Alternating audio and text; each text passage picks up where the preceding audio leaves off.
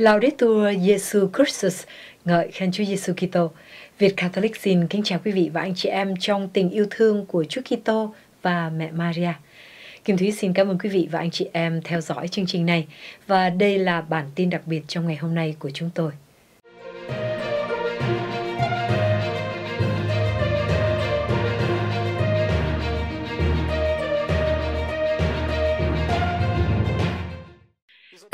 Ukraine nói thêm rằng Nga đang hứng chịu các cuộc phản công có hệ thống ở phía Nam. Nga đang hứng chịu các cuộc phản công có hệ thống của quân đội Ukraine tại Kherson, miền nam Ukraine, một tuyên bố từ Bộ Tư lệnh Chiến dịch miền Nam cho biết.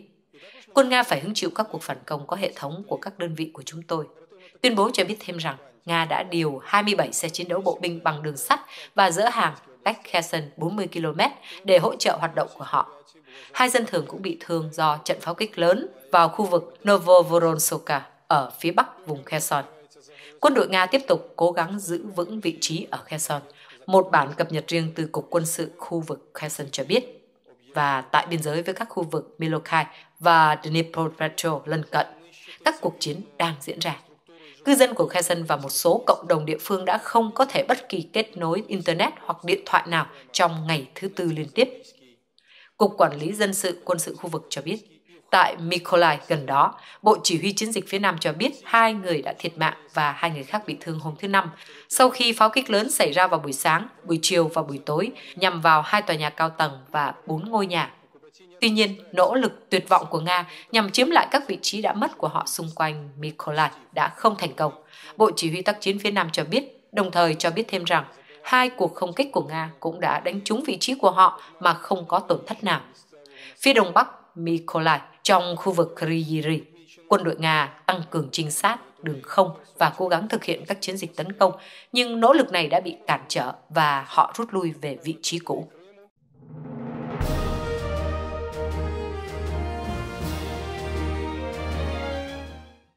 Quân đội Ukraine cho biết họ đã đẩy lùi các cuộc tấn công của Nga ở nhiều khu vực ở miền đông Ukraine. Bộ Tổng tham mưu các lực lượng vũ trang Ukraine cho biết ít nhất 5 cuộc tấn công của Nga đã bị đẩy lùi trong 24 giờ qua tại các khu vực Donetsk và Luhansk ở miền đông Ukraine. Quân đội nói rằng các lực lượng Nga đã cố gắng tham gia vào các cuộc đụng độ và hoạt động vũ bão với sự giúp đỡ của các đơn vị riêng biệt và các nhóm phá hoại và trinh sát ở hai khu vực xung quanh Donetsk. Bộ Tổng tham mưu Ukraine nói thêm rằng cuộc tấn công đã không thành công và quân đội Nga rút lui về các vị trí trước đó của họ. Quân đội Ukraine cho biết một số đơn vị thuộc sư đoàn súng trường cơ giới 150 của Nga đã chịu tổn thất đáng kể ít nhất 50% nhân lực, vũ khí và thiết bị tại khu vực xung quanh Popasna, cách Severodonetsk khoảng 50 km về phía tây nam. Bộ Tổng tham mưu Ukraine cho biết Ukraine tin rằng quân Nga bị mất tinh thần do liên tục trì hoãn sự luân chuyển của họ. Quân Nga đang áp dụng một chiến thuật gọi là luân chuyển hay xoay tua trước tình trạng binh lính không có tinh thần chiến đấu. Điều này đã được báo cáo trước đó bởi một tiểu đoàn trưởng của Lữ đoàn xung kích biệt lập 95, anh hùng của Ukraine, thiếu tá Yehen Samataliuk, người hiện đang dẫn quân của mình ở hướng Izium. Tôi thậm chí không thể đếm được số lượng các đơn vị tấn công các vị trí của chúng tôi vì họ vì họ liên tục thay đổi. Họ tiếp tục tấn công, chúng tôi đẩy lùi. Quân Nga rút lui và sau đó họ xoay tua. Và rồi lại một đơn vị mới toành tiếp tục tấn công. Samataliuk nói. Theo vị chỉ huy, các đơn vị khác nhau của Nga đã xoay tua chiến đấu chống lại tiểu đoàn của ông. Tôi biết rằng có những đơn vị dù, bộ binh, thủy quân lục chiến và một số thậm chí là tân binh mới tốt nghiệp. Có rất nhiều tài liệu chúng tôi đã chuyển lên sở chỉ huy cấp trên, nơi có dấu hiệu của các đơn vị quân đội, tên, danh sách, vân vân. Có cả tù binh cho biết họ đã ở đơn vị nào. Ông nói thêm rằng, theo những tù binh đó, chỉ huy của họ trong khi giao nhiệm vụ cho họ đã nói như sau. Nếu bạn giải quyết việc này, bạn sẽ được luân chuyển vào ngày mai và bạn sẽ trở về Nga. Những người lính của họ mất tinh thần đến mức đây là cách duy nhất để khiến họ chiến đấu. Họ khiếp sợ pháo binh. Bây giờ chúng tôi có nhiều cỗ trọng pháo hơn thế nên chúng tôi liên tục gây ra thiệt hại cho họ. Họ nói rằng họ bị thiệt hại đáng kể. Nhưng địch đang tích cực luân phiên kéo quân dự bị. Bây giờ các cuộc tấn công của họ vẫn tiếp tục. Stamaliuk nhấn mạnh Khó khăn của quân Nga khi xoay tua đánh như thế là họ không rút được kinh nghiệm, không thông thạo địa hình và lặp lại cùng những sai lầm. Tại khu vực Slovian, ở phía tây Severodonetsk, Nga đã không thành công trong việc thực hiện các hoạt động tấn công ở hai khu vực và rút lui sau khi bị tổn thất, quân đội Ukraine cho biết. Nga cũng tiến hành các hoạt động tấn công không thành công ở khu vực Bakhmut. Nhưng bất chấp những tổn thất mà quân đội Ukraine gây ra, Nga vẫn tiếp tục pháo kích dữ dội trên khắp miền Đông. Một bản cập nhật riêng từ lực lượng đặc nhiệm Liên Hợp của Ukraine hôm thứ Sáu cho biết các lực lượng Nga đã tấn công 28 khu vực thuộc vùng Donetsk và Luhansk trong ngày qua. Lực lượng đặc nhiệm cho biết ít nhất 7 dân thường thiệt mạng và 8 người khác bị thương.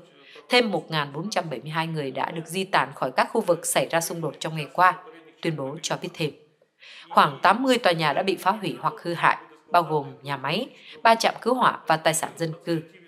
Năm vụ hỏa hoạn lớn là do Nga pháo kích trong khu vực và trong một số trường hợp, các đơn vị cứu hỏa và cứu hộ đã bị hỏa hoạn và buộc phải quay trở lại vị trí của họ. Lực lượng đặc nhiệm cho biết. Bộ Tổng tham mưu các lực lượng vũ trang cho biết giao tranh vẫn tiếp diễn ở trung tâm Severodonetsk. Khoảng 50% thành phố hiện nằm dưới sự kiểm soát của lực lượng Nga. Quân đội cho biết ở phía đông bắc, một cuộc tấn công hỏa tiễn đã được tiến hành vào cơ sở hạ tầng dân sự ở Sumy và các cuộc pháo kích đã tấn công ba khu dân cư. Quân đội cũng nói rằng các lực lượng Nga tiếp tục chuẩn bị cho một cuộc tấn công ở Kharkiv, bắn pháo và nhiều vụ phóng hỏa tiễn vào năm khu vực.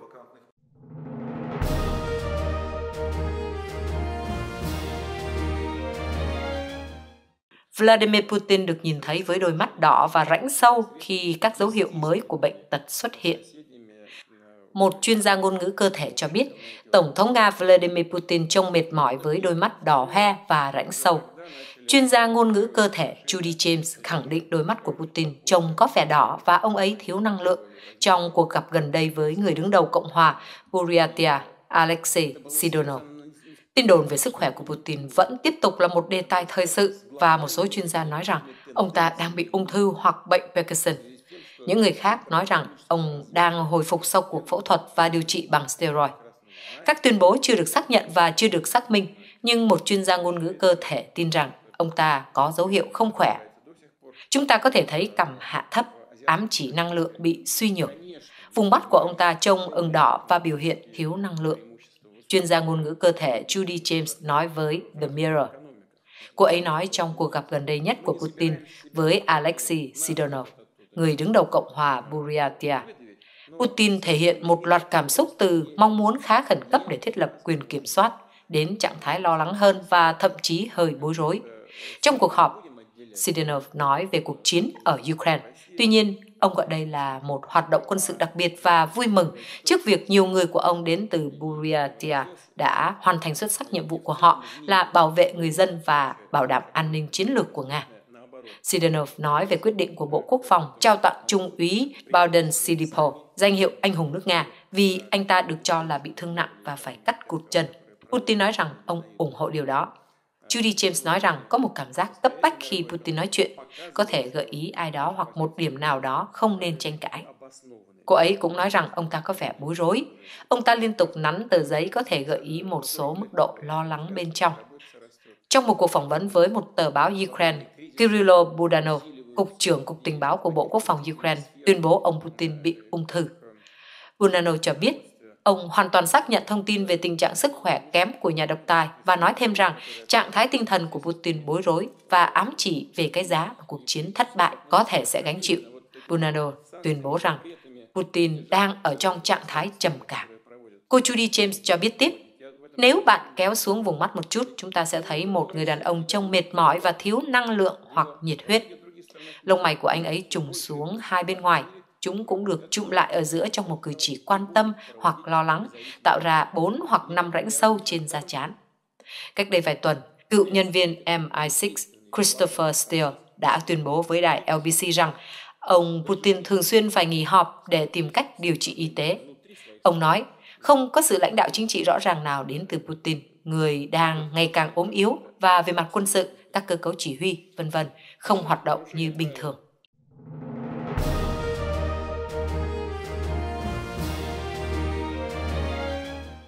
Người mẫu đối mặt với mối đe dọa tử vong từ Nga sau khi chụp hình chiếc xe tăng bị phá hủy của Putin một người mẫu Brazil nổi tiếng đã bị một người lính Nga dọa giết và nói rằng anh ta đang truy sát cô ấy vì đã chụp hình trên nóc một chiếc xe tăng Nga bị phá hủy ở Ukraine.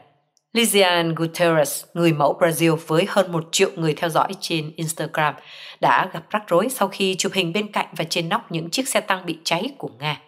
Vào giữa tháng 3, cô người mẫu đã đến Ukraine để tình nguyện làm nhân viên cứu trợ.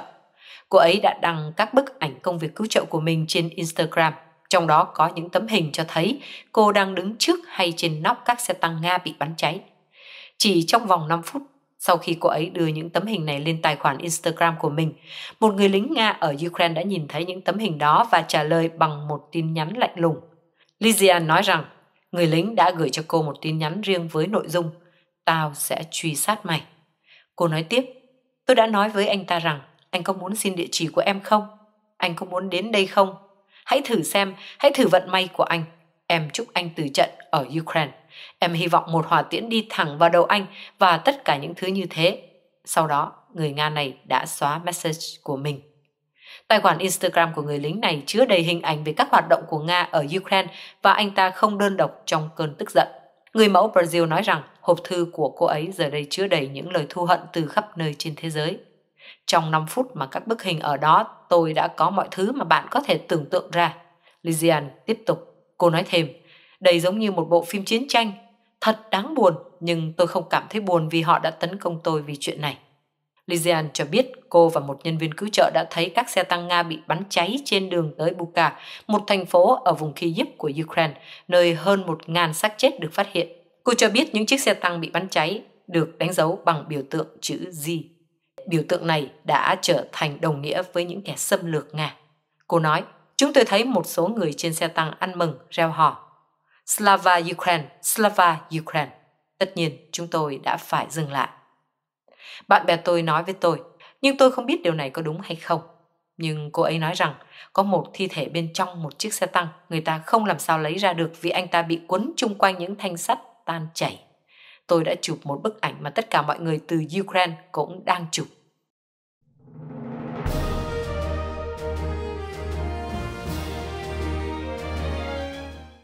Các nhà nghiên cứu cho biết cá heo hắc hải đang bị giết bởi các hoạt động quân sự.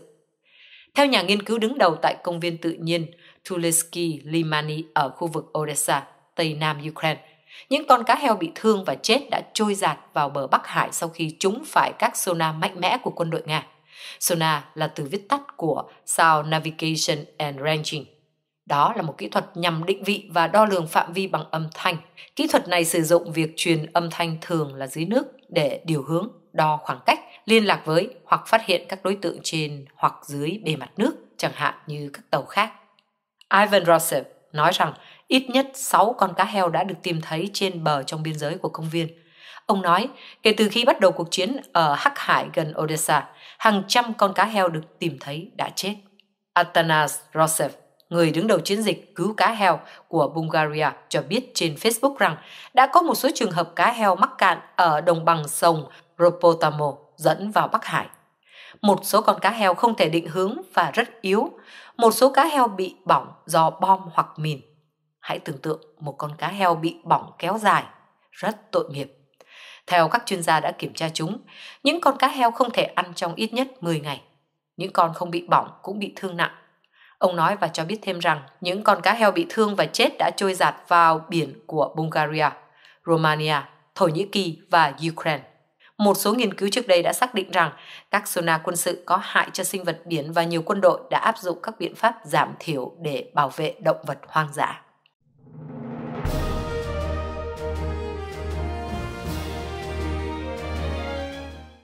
Liên hiệp Âu Châu thông qua gói trừng phạt thứ 6 chống lại Nga. Hội đồng Âu Châu đã chính thức thông qua gói trừng phạt thứ 6 chống lại Nga vì hành vi gây hấn ở Ukraine. Họ cho biết như trên trong một thông cáo báo chí hôm thứ Sáu.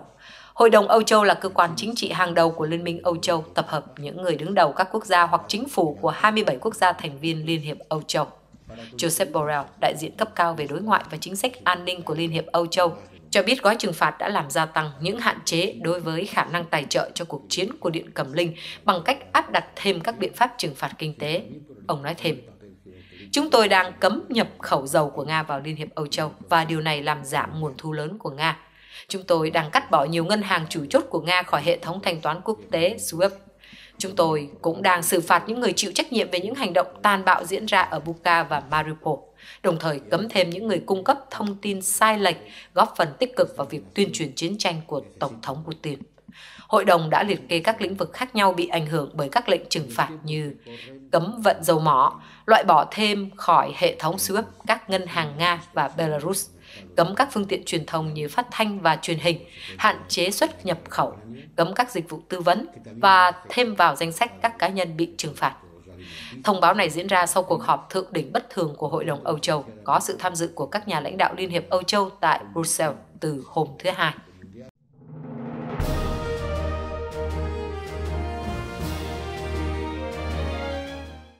Bộ Quốc phòng Nga cho biết hạm đội Thái Bình Dương của Nga bắt đầu các cuộc tập trận hải quân với hơn 40 tàu chiến. Hạm đội Thái Bình Dương của Nga đã bắt đầu một loạt cuộc tập trận kéo dài một tuần với hơn 40 tàu chiến và 20 máy bay, Bộ Quốc phòng Nga cho biết như trên hôm thứ Sáu. Các cuộc tập trận dự kiến kéo dài đến ngày 10 tháng 6 sẽ bao gồm các tàu tìm kiếm tàu ngầm và tìm cách tổ chức phòng không cho các nhóm tàu chiến thuật để thực hiện các bài tập huấn luyện chiến đấu đối với các mục tiêu trên bộ và trên không. Tàu chỉ huy của Nga là Maso Grillo, khinh hạm Maso Shaposniko và một nhóm tàu chống ngầm lớn và tàu hộ tống. Các chiến hạm chống tàu ngầm nhỏ, tàu quét mìn, tàu hỏa tiễn và tàu hỗ trợ đều sẽ hoạt động ở các khu vực được chỉ định của Thái Bình Dương trong thời gian tuyên bố. Các cuộc tập trận diễn ra khi cuộc xâm lược Ukraine của Nga đạt mốc 100 ngày vào thứ Sáu. Quân đội Ukraine tuyên bố rằng các đơn vị của Nga đã thiệt hại đáng kể về nhân lực và thiết bị kể từ khi cuộc chiến bắt đầu vào cuối tháng 2.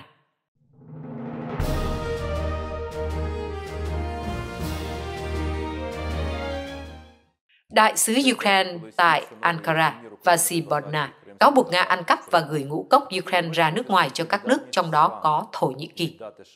Nga đánh cắp ngũ cốc của Ukraine một cách đáng xấu hổ và đưa ra nước ngoài từ Crimea đến các quốc gia khác, bao gồm cả Thổ Nhĩ Kỳ, ông Bodna nói. Chúng tôi đã yêu cầu sự giúp đỡ của Thổ Nhĩ Kỳ để giải quyết vấn đề, ông nói thêm. Trước cuộc xâm lược của Nga vào đầu năm nay, Ukraine là nước xuất khẩu lúa mì và dầu hướng dương lớn. Thổ Nhĩ Kỳ, một thành viên NATO, đã cung cấp máy bay không người lái chiến đấu cho Ukraine trong khi cố gắng đóng vai trò hòa giải trong cuộc xung đột kéo dài đến ngày thứ 100 vào hôm thứ Sáu. Tuy nhiên, Thổ Nhĩ Kỳ đã hạn chế áp đặt các biện pháp trừng phạt đối với Nga vì nước này phụ thuộc vào Nga về ngũ cốc và năng lượng. Theo yêu cầu của Liên Hiệp Quốc, Thổ Nhĩ Kỳ đã đề nghị hỗ trợ bảo đảm các hành lang hàng hải cho hoạt động xuất khẩu ngũ cốc của Ukraine. Ngoại trưởng Nga Sergei Lavrov sẽ đến Thổ Nhĩ Kỳ vào thứ Tư để thảo luận về vấn đề này.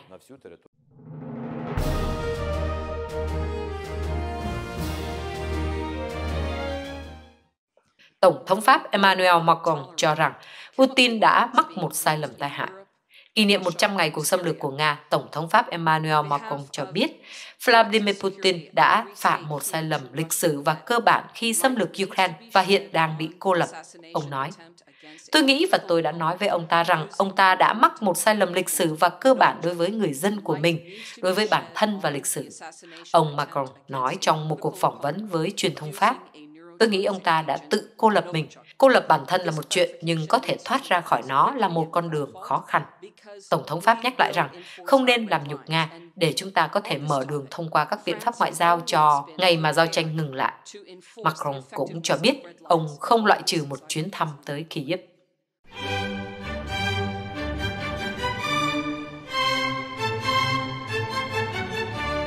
Chương trình của chúng tôi đến đây là hết. Xin quý vị và anh chị em giúp phổ biến rộng rãi chương trình này đến với gia đình, thân quyến và bạn bè xa gần như một cách thức để truyền giáo. Xin cảm ơn và hẹn gặp lại quý vị và anh chị em trong lần phát hình tới. Laudetur Jesu Christus, ngợi khen Chúa Giêsu Kitô.